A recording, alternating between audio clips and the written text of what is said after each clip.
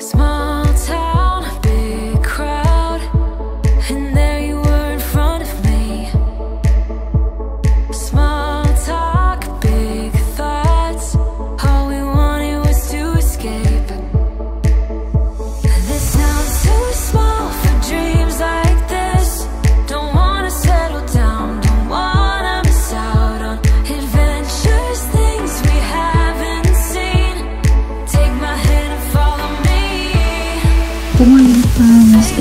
early morning here, about 5:30 a.m. And today is the day that I am able to finally set up my kitchen. So um, it has been a busy few days around here, just trying to get everything unpacked. And then we had sports starting all at the same time. Our two oldest started a new job. So Mama has been busy, and we need our kitchen set up.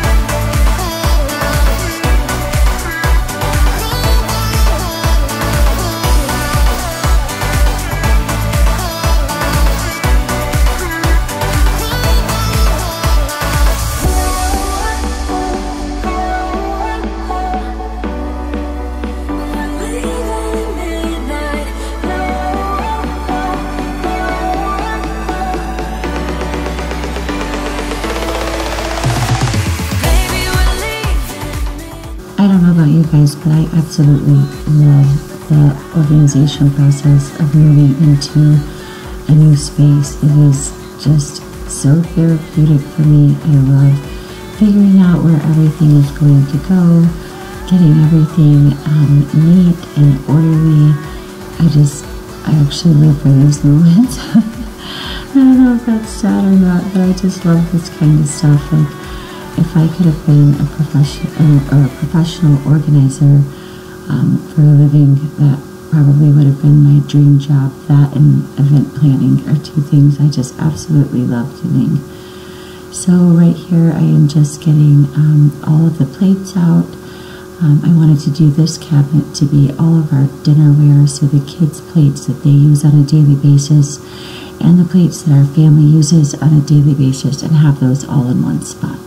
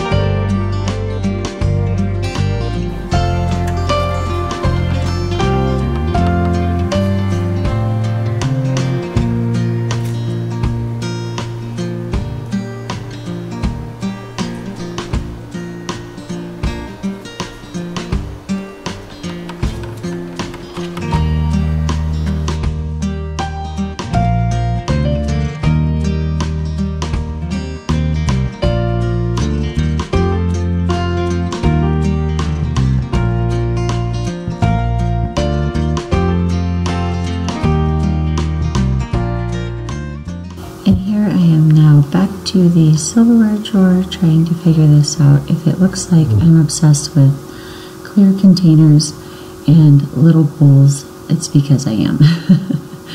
I absolutely love these clear containers. The ones that I'm using, most of them are from the Home Edit line that um, they sell at Walmart.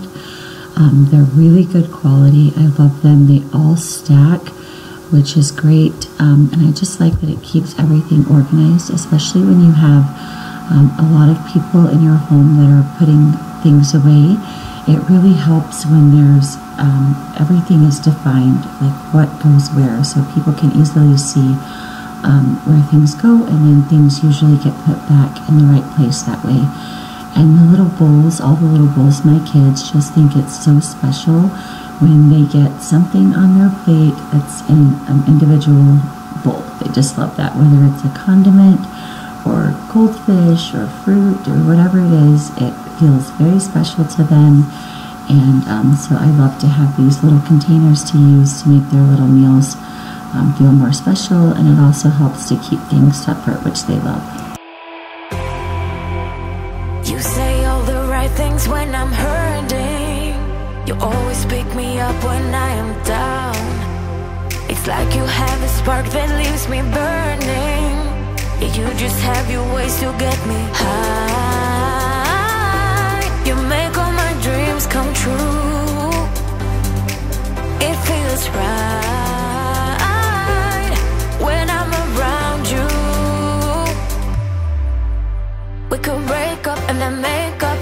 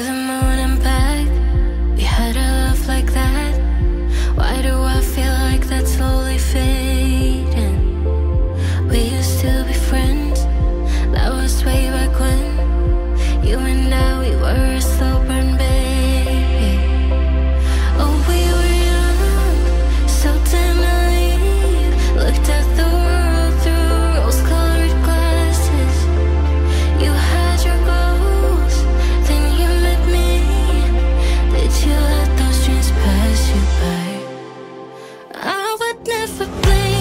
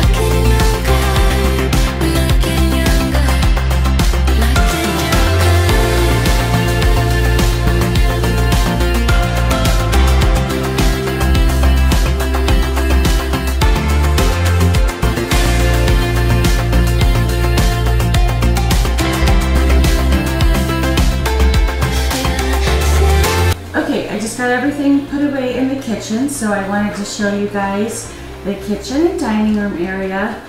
So we were able to find this table, you guys. You know I love a good deal. This is a solid wood table. It's handmade by the person that we purchased it from. Really sturdy legs. Like this thing, you cannot even nudge it. Like it's not even moving from this spot. Such a great deal.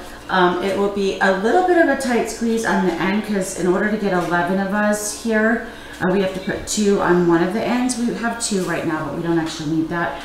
Um, but anyway, I found this table on Marketplace. You're never gonna believe the price. $85.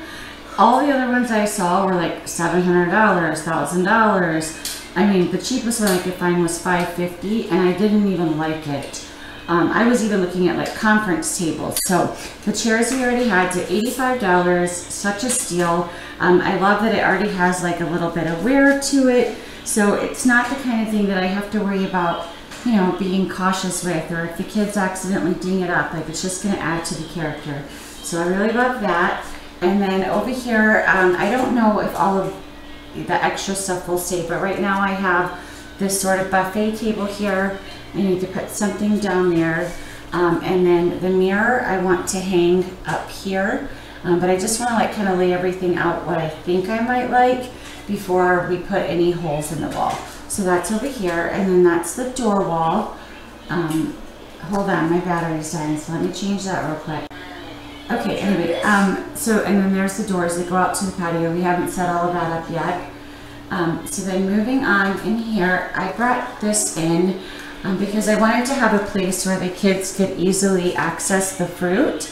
And there's a nice large wall here and there's plenty, I mean, that still allows four feet or more for a walkway.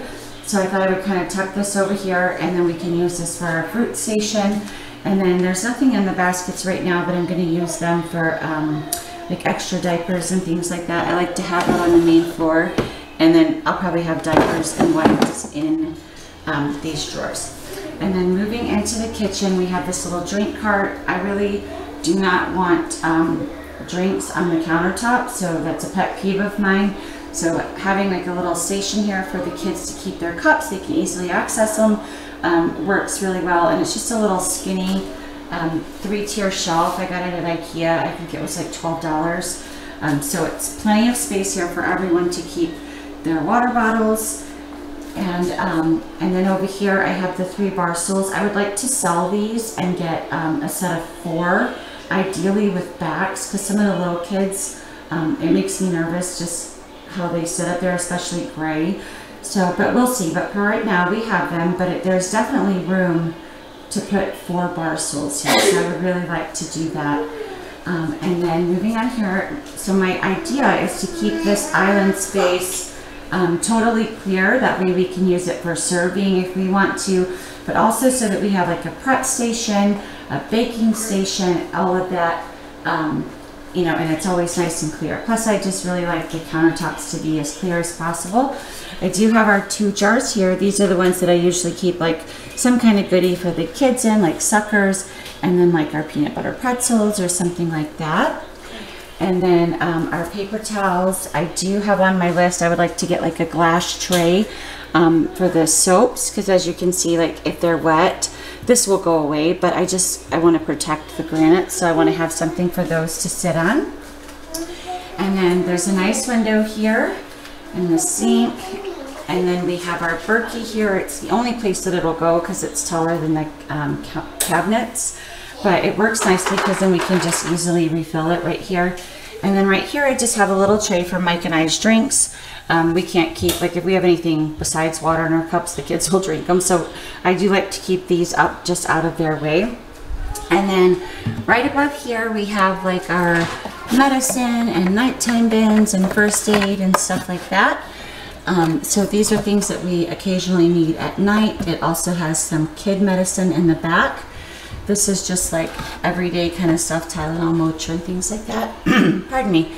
And then up top here is like first aid. So band-aids, antibiotic ointment, that kind of thing. And all of that fits perfectly there. And then over here I have just like my little notepad and then where we keep um, the kids' toothpaste and toothbrushes so that we can help them um, in the sink. So I like to have those down here, otherwise I forget. Down here I have like our kitchen hand towels, wash rags, and then these are new towels back here that I just tucked away in case I want to use those for like when company's over or something like that. And then down here is where we have like our parchment paper, our uh, plastic wrap, foil, uh, storage bags, all of that. It's not the best layout. I would rather have like a large drawer so you could see everything, um, but I needed to use those for something else. So, and then under the sink counter here is, um, so I tried to have this really organized. I, I want it to be like a space that's useful. So over here we have like our cleaning supplies, our soap refills. This container is my dishwasher pods. This is for garbage bags. We just feed it through here so you can easily pull it. And then this drawer has our like plastic bags, like grocery bags, things like that that they give you at the store. And then in here I have some of this stuff on my list. Um, it'll be like refill. So this is my steam mop, the extra pad for that, um, the like sink drain stop. This will be full of magic erasers and this will be like extra dish scrubbers. So, and then I don't have, I would like to get one of those little hooks that go over the door for the hand towel, but for right now that works. And then dish, um, the dishwasher. And then down here, um, I actually forgot I had this cabinet, so I moved a few things around. So down here is where we're putting like our baking pans. So my muffin pans, cake pans, um, cooling racks, things like that. And there are still a few things at the camper that I need to grab. But um, this little space is a little bit awkward, so I wanted to make sure that whatever we put in here, we can easily grab. And then right above that is like our junk drawer. Um, I mean, it's not really junk, but you know. So scissors, thumbtacks, paper clips, um, tape, and these are extra lead refills for the mechanical pencils and pens. So I like to have this in a place where I can see it so the kids are not getting into everything. And then in this large drawer here, we have all of our silverware um, that we use on a daily basis. And then the kids' plastic silverware. Um, and then this is like our measuring cups and um, all of that. I like to keep two sets so we can, if we're baking, we can have one that's obviously for wet and one that's obviously for dry. And our biscuit cutters. And then back here, I have lots of these little containers because they come in really handy with the kids. Um, like if we have salsa or queso dip, we'll use these little ones. And if they have ketchup or anything like that, we'll use these. And um, sometimes we put little treats in these for like movie night. Watch out, baby. Um, so I like to just have these little um, containers on hand. So all of that is right here.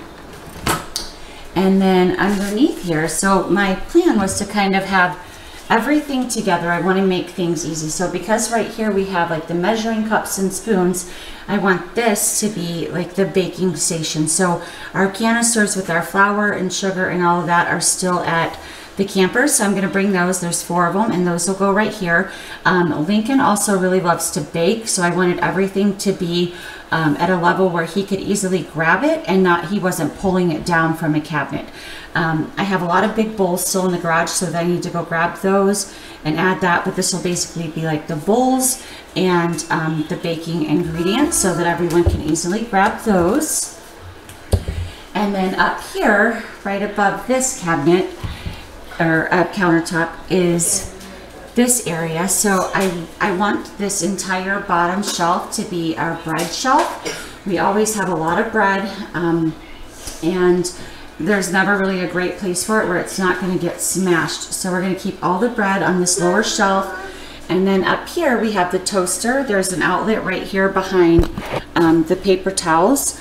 So if somebody wants to use the toaster, they can easily, oh, focus. Okay, they can easily just pull that toaster down um, and use it. And then here's a little cutting board if they need to slice their toast. Um, and here is our butter dish. And then because we go through butter frequently and I like to have softened butter, um, I just put this little plastic container with an extra pound of butter in it and a lid so that it doesn't leak and mar up the um, shelf there. So And then up above, I just have more baking supplies since the baking station is right below me. Hang on, sweetheart. So it's a large measuring cup. These are the glass bowls. These are lids that go to that glass bowl. And then my sifter. And then over here, I have little storage containers. This is baking supplies like sprinkles and um, food dye, birthday candles, things like that. Those are my mason jar lids and just extra lids for like our glass milk jars. And then over here is our to-go containers or like our leftover containers. So right here is plastic ones that we usually use if we um, are going like on a picnic or something like that. And then here's glass ones with the lid behind them. And then again, um, just the bread here on the bottom. Okay, and then moving over to this side where the stove is, um, up above here is where I put the all of our plates and like dinnerware. So we have, this is what we use like when we're eating as a family. Um, these are all of the different kid dishes. They're little stainless steel ones and the different ones that we um, use. This little container is, we have a rag that we use to season our cast iron pans and we just keep it oiled up. Um, and so that's just for that right here next to the stove. And then up above are our little baskets and our wax papers some wood bowls that my um, daughter loves to use, and then paper plates for when we need those.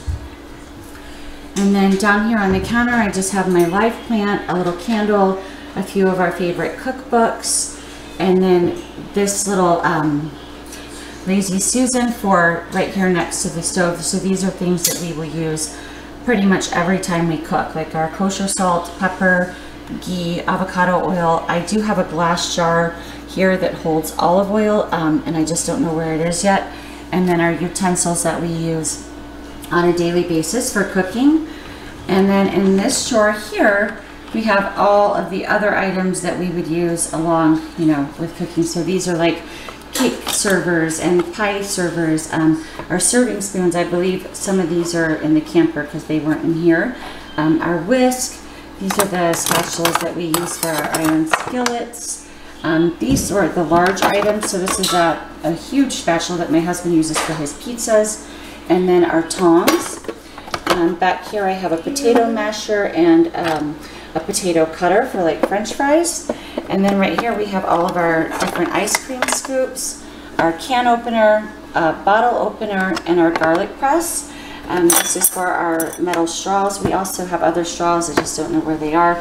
And then back here is basically items that we rarely use because they're not super easy accessible. So it's a knife sharpener, um, water bottle, like rubber labels. I have a helper here and a pastry brush for, hold on just a second, okay? I'm gonna show my, our friends and then um and then we'll look at it, okay? So that is right here um, to the right of the stove. Okay, and then under that drawer right here, I have um, like our iron pots that we use, um, a lot of like our cast iron stuff. Our pots, it's the only dishes that we use actually, so our cooking um, stuff, and uh, our cast iron pans. It's like a grease guard and our cast iron um, griddle. And then our strainer or colander, cheese grater, our Pyrex is back there, and our hot pads. So this is stuff that we pretty much use on a daily basis. So I wanted it right here um, by the stove and then right underneath the utensils. Then we have the stove and in the bottom here, I just have our cookie sheets. So that's where all of our cookie sheets will go. And then the microwave and up above the and then up above the microwave is where I have like all of our oils and vinegars and things like that.